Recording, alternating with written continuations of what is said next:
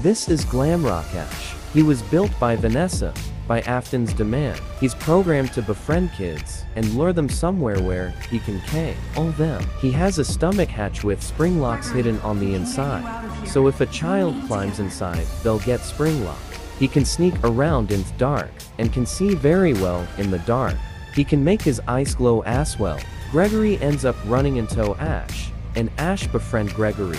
Freddy feels an evil vibe coming from Ash. Freddy tells Gregory about vibe he gets from Ash. Ash has a great sense of hearing, so he overhearsed his. But he does nothing, for now. The next time Freddy hasto recharge, Ash uses the opportunity to grab Gregory. He sneaks away, without Freddy noticing. He take Gregory somewhere where Freddy won't be able to hear him. Ash has very sharp claws, as sharp as an FE. He hold Gregory against a wall, ready to claw him open.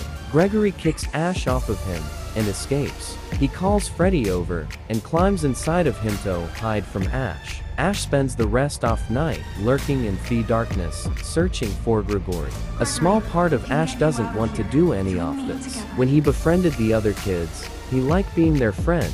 He felt slightly remorse when he had to K all them.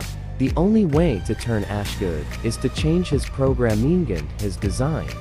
But you'd have to save Vanessa first. You'd have to crawl to get past Ash if he's within clear eyesight. He is affected by the phaser blaster on the Faz-Cam, although this machine more aggressive. Unlike the other Glamrocks, he doesn't wither as the night goes by. He can be defeated in any of the fire endings. That's pretty much it. If y'all have questions, let me know.